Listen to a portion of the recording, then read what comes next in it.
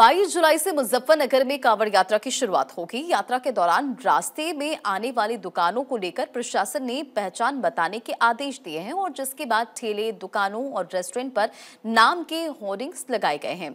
और इसे लेकर सियासत भी अब लगातार जारी है। रिपोर्ट देखिए।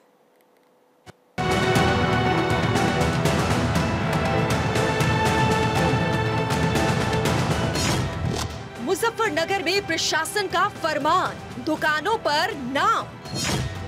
हिंदू या मुसलमान, कावड़ यात्रा पर बताना पड़ेगा नाम। ठेलों पर लिखे गए नाम, छिड़ा सियासी घमासान। खान की स्टॉल एंड कन्फेक्शनरी।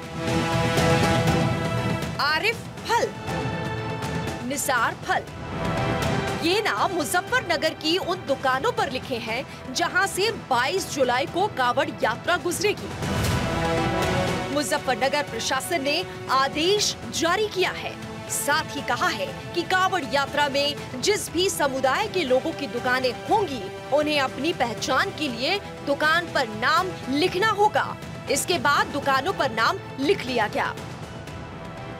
हमारे जनपद में लगभग 240 किलोमीटर का कांवड़ मार्ग है। इसमें जितने भी खान पान के दुकानें हैं, चाहे वो होटल, ढाबे, ठेले, जहाँ से भी कांवड़िए अपनी खाद्य सामग्री खरीद सकते हैं, उन सबको ये निर्देशित किया गया है कि अपने प्रोपराइटर के या काम करने वालों के नाम ज़रूर डिस्प्ले करें। ये इसलिए ज़रूरी है ताकि किसी प्रकार का कोई कन्फ्यूज़न किसी भी कांवड़िए के अंदर ना रहे और ऐसी स्थिति ना उत्पन्न हो कि कहीं कोई आरोप प्रत्यारोप हो और बाद में कानून व्यवस्था की स्थिति उत्पन्न हो। इसलिए ऐसा निर्देश दिया गया है और सब इसको अपने स्वेच्छा से इसका पालन करना प्रशासन के इस आदेश के बाद ठेलों, दुकानों और रेस्टोरेंट पर लोगों ने अपने अपने नाम की होर्डिंग तो लगा ली, लेकिन इस मामले में सियासत भी तेज हो गई है।